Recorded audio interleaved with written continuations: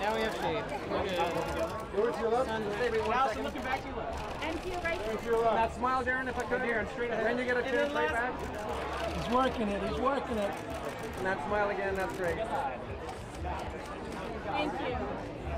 Thank you. No, we did. We did right away. It's like the minute we got nominated, we we, we, we called each other, we texted, we were all calling Finn, Penelope, everybody. everybody. We were all connected. I just talked to excited. Darren. Oh, I just talked to Penelope. I'm calling Penelope now.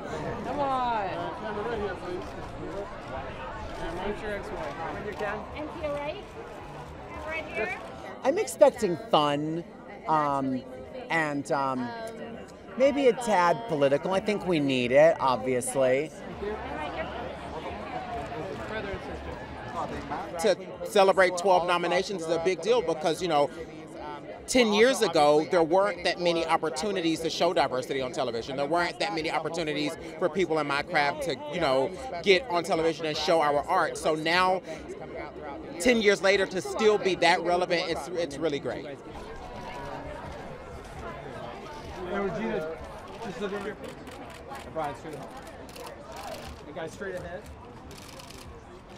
Yeah, it's amazing because one, we you know we were the first African American married couple to be nominated in the same year, so it's, that's definitely truly an honor.